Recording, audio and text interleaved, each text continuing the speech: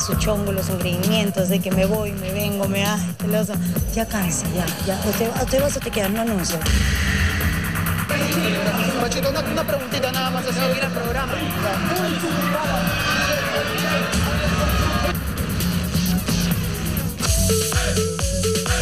Empezó una nueva fecha en este set donde la tensión invadió a paso agigantado a muchos de sus integrantes. Una noche de sentencia donde se conocería quienes abandonaban combate. Señoras y señores, con 1.200 puntos acumulados, se salva y continúa en combate participante Por acumulación de puntaje, entonces Mario Hart se estaría salvando de la competencia. ¿Lo comentaste? ¡No, no! Se queda Lorelén y Eyal y lamentablemente abandonan la competencia. Yo no sé. Se queda Eyal y Lorelei. ¿Qué pasará mañana en el equipo rojo? Luego de la decisión tomada por Austin. Lo veremos mañana aquí en combate.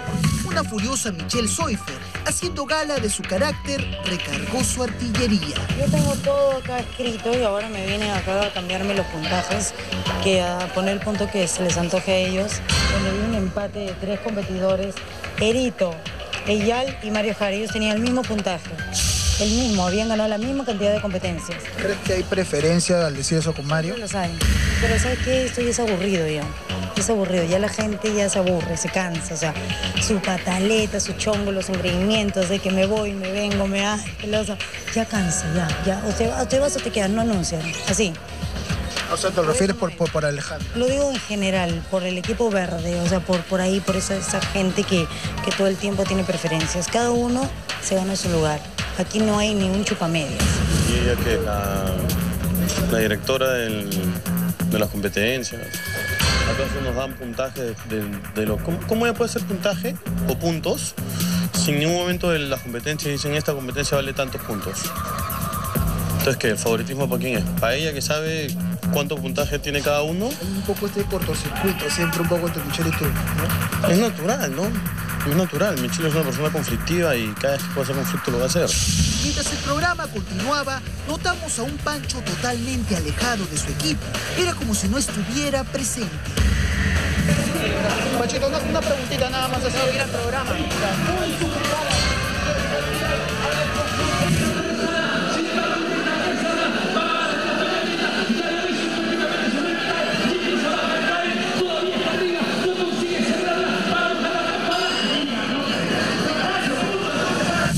Lo que habría desencadenado este aparente distanciamiento del chileno con su equipo e incluso con Alejandra? Vi que Pancho está muy alejado del grupo. Siento como que está incómodo, también lo siento a él. Bueno, yo creo que eso tienes que preguntárselo a él. Yo te vi bastante incómodo con tu grupo, nos pareció así.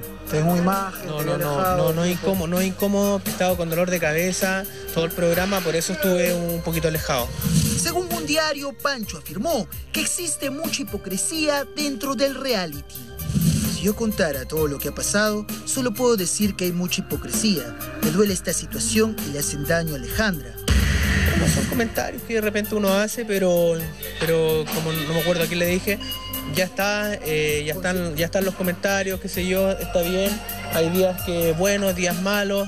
¿Consideras que hay hipocresía acá? Es que ya no, no voy a responder nada de eso, no voy a emitir ningún comentario más para que después se le dé más cuerda. Lo que pienso, no piense de, de, de la gente me lo voy a reservar. Con Mario todo bien, seguimos compartiendo camarín, todo re bien. Ese día que le preguntaron si ustedes dos son amigos, él como que la pensó un poco para decir la respuesta. Amistad en, en tres meses no se puede tal vez decir, oye, tú somos amigos. El- la amistad es una palabra muy, muy delicada.